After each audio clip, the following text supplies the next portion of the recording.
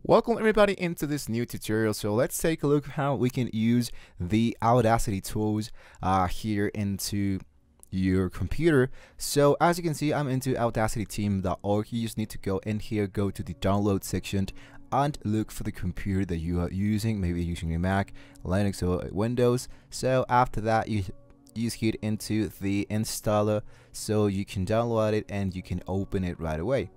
So if you're quite new editing your music or editing your sounds here into your uh, videos, it's quite easy to use the Audacity application.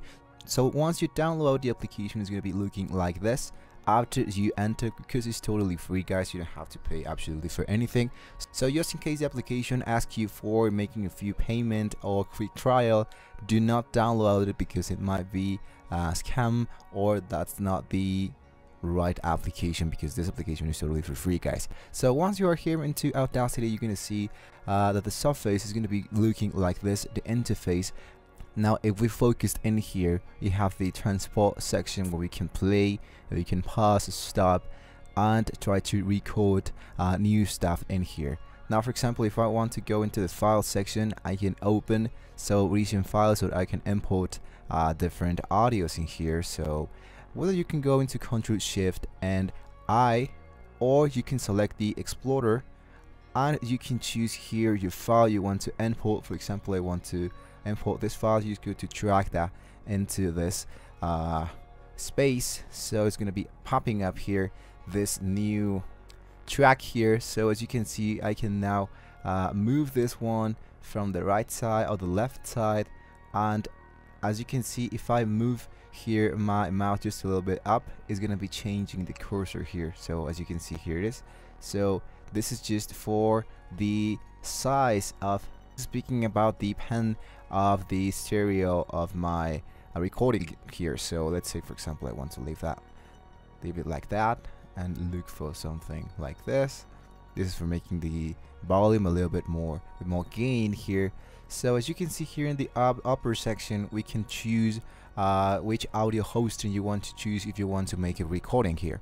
Then you want to then you want to select your microphone from uh, whether that will be from uh, the internal one that, that's in your computer or you want to use an external. As you can see this is an interface that I have connected into my computer and I want to choose the stereo recording number number two so it can be the uh, stereo and choose the option says speakers so I can listen so I can listen to that after I make the recording through my computer.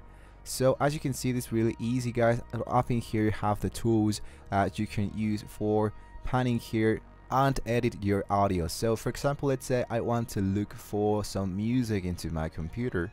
So as you can see I've already imported uh, here two files in here. So I have here the music so I can so I can put here my uh, my mouse in here and I can just rename this from music background.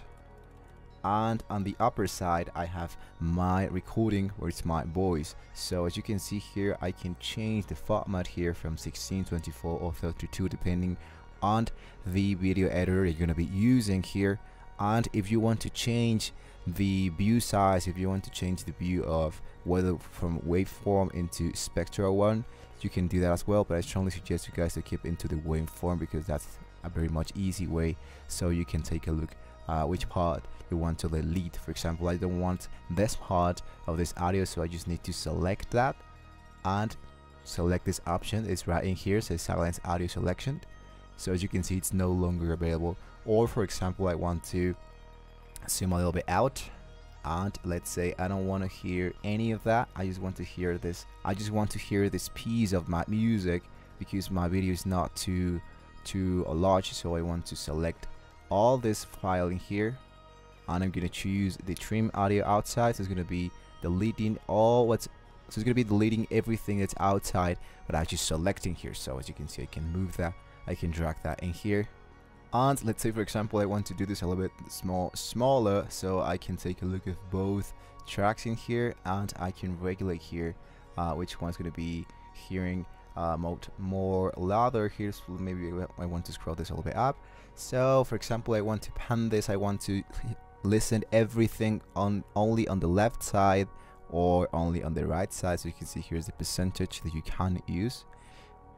Now speaking about this real tool that's right in here speaking about the envelope tool it's really helpful guys just in case that you're trying to avoid uh, some noise that was recorded that you wanted uh, wanted to happen that. So for example this is too uh, loud here. So let's say I want to click in here.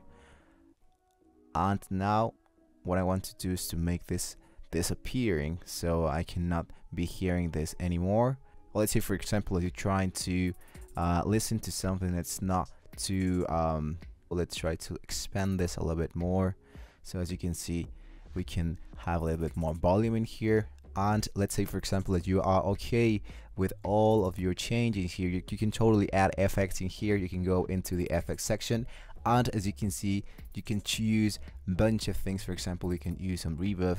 We can use some uh, echo. So we can start uh, hearing more space into our track there and of course there's the graphic EQ so you can uh, choose listen to more of this uh, frequencies or to listen less of a specific frequencies when you are trying to edit. Here your sound. So let's say if you are okay with all your edits that you've done so far I'm gonna hit into OK.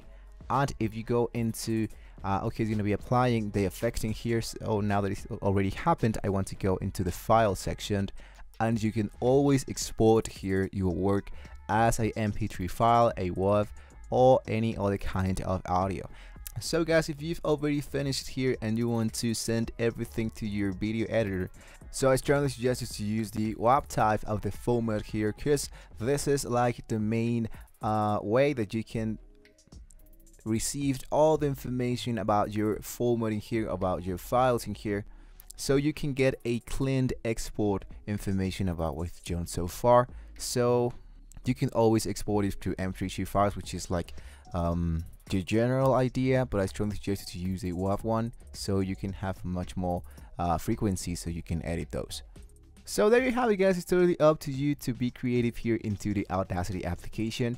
Likewise, you can always try to use new stuff like the loop section. For example, if I want to put in here my cursor here, I can drag here. For example, I want to hear this part of the music over and over again. So after this one is already played, it's going to be making a loop and lastly guys i strongly suggest you to go into the edit section and go into the preferences so you can prepare your project uh, depending on what kind of project you're going to be working on. So so if you have any trouble trying to connect any device in here or you don't uh, hear your sound your music or your microphone you can always go into the preference section into the devices and and see if this one is uh, connected correctly and as well at the playback and the recording section is right in here you can let me know guys in the comment section if you want to hear more about the Audacity here, if you want to check out some more advanced tools.